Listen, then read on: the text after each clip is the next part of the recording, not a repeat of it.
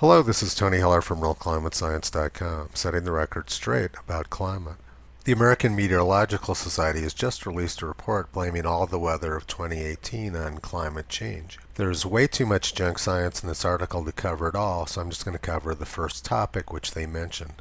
December 9th, 2019, San Francisco, California. The desiccating Four Corners drought, intense heat waves on the Iberian Peninsula and in Northeast Asia, exceptional precipitation in the mid-Atlantic states, and record low sea ice in the Bering Sea were 2018 extreme weather events made more likely by human-caused climate change.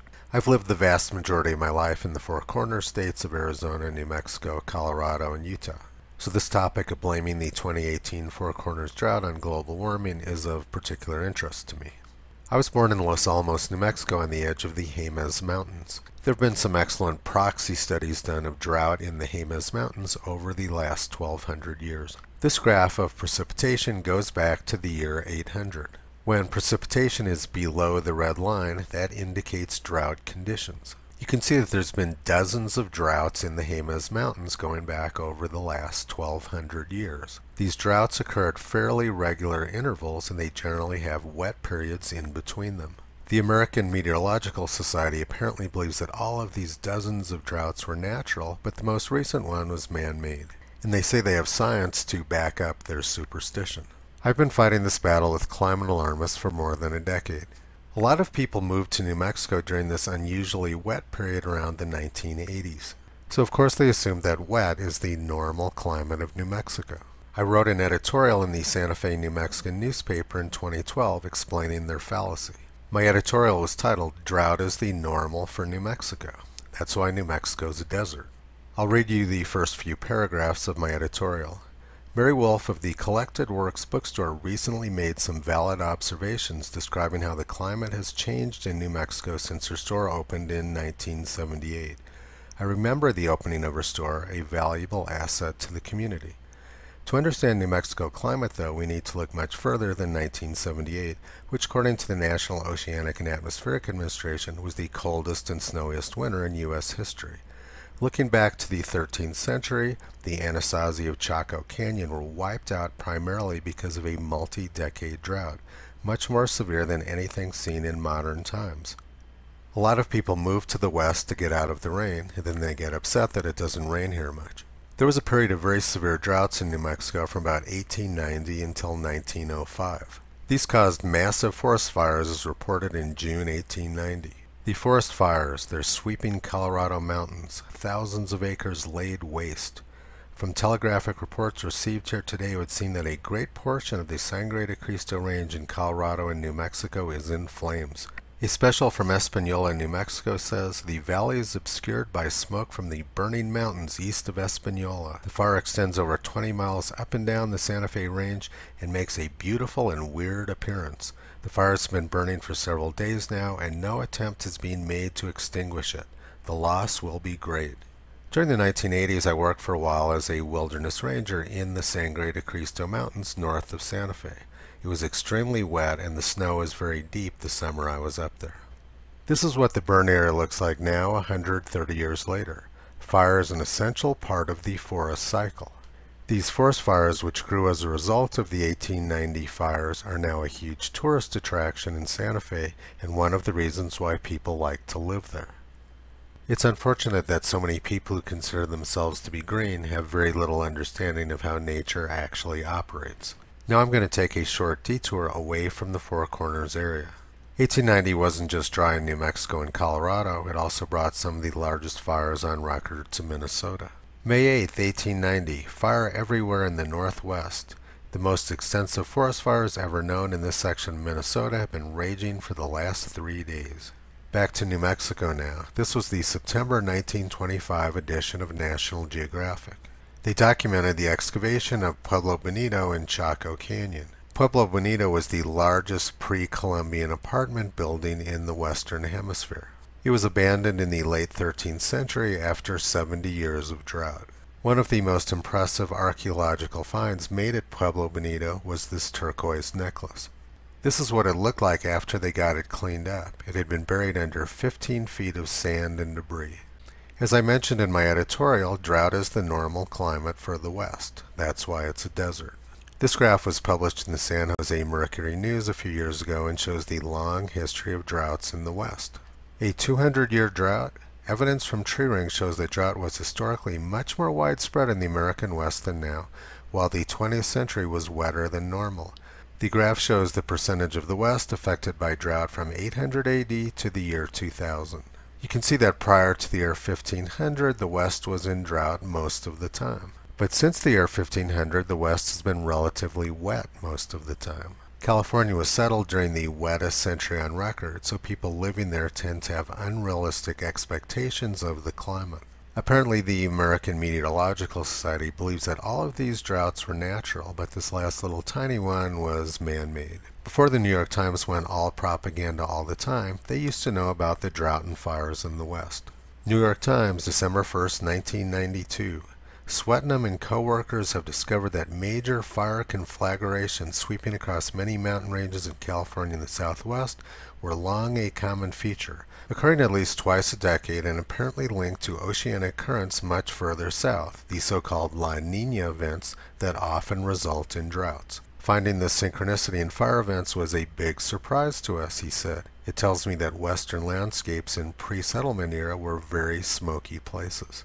So in 1992, the New York Times understood that fire and drought in the West was controlled by ocean circulation patterns and not carbon dioxide.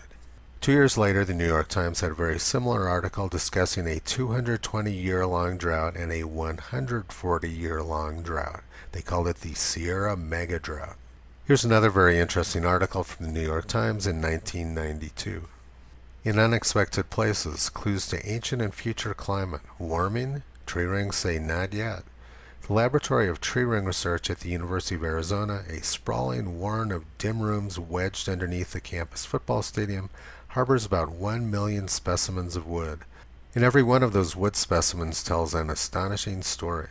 Some tell tales of searing infernos that swept for tens of thousands of acres across the ranges of the Great Basin, flames leaping from one parched slope to the next like shining panthers pouncing on fresh prey.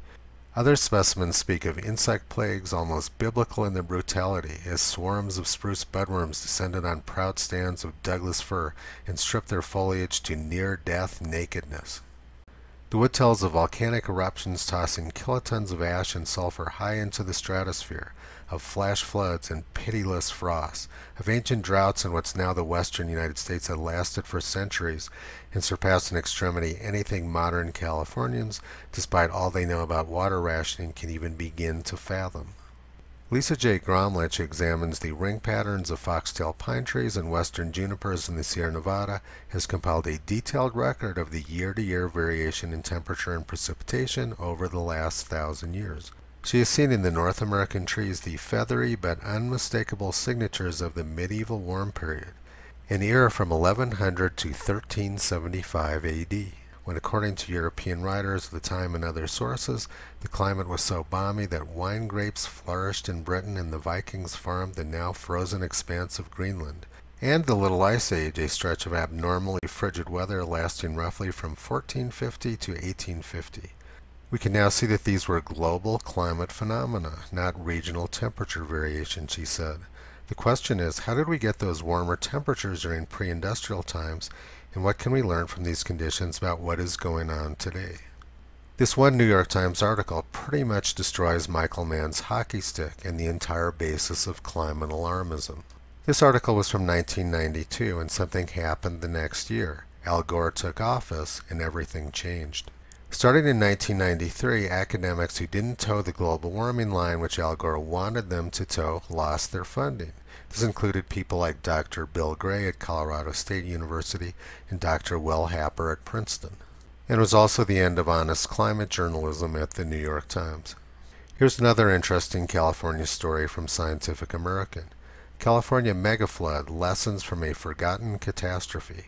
A 43-day storm that began in December 1861 put central and southern California underwater for up to six months, and it could happen again. In 1861, farmers and ranchers were praying for rain after two exceptionally dry decades. In December, their prayers were answered with a vengeance as a series of monstrous Pacific storms slammed one after another into the west coast of North America from Mexico to Canada. The storms produced the most violent flooding residents have ever seen before or since. 66 inches of rain fell in Los Angeles that year, more than four times the normal annual amount, causing rivers to surge over their banks, spreading muddy waters for miles across the arid landscape. Large brown lakes formed on the normally dry plains between Los Angeles and the Pacific Ocean, even covering vast areas of the Mojave Desert.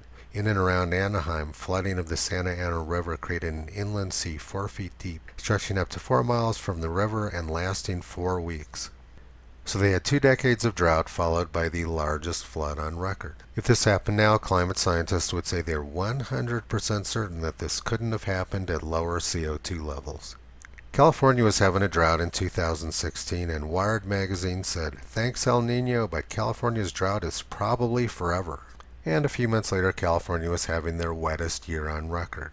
Many climate alarmists appear to be incapable of learning. They repeat the same mistakes over and over again. Let's go back now to the 2018 New Mexico drought. I was in Los Alamos in May when the drought ended. I met this friendly fellow on the drive down from Colorado.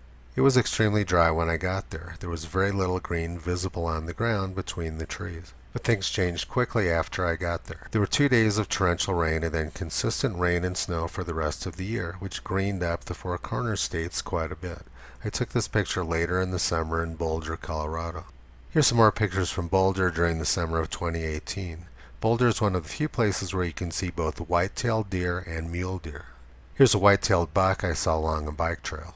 And here's a couple of mule deer bucks I saw along the road to NCAR. A bow hunting acquaintance of mine got this hybrid buck. You can see that one of the antlers belongs to a mule deer and the other one belongs to a whitetail. It was most likely the offspring of a white-tailed buck and a mule deer doe.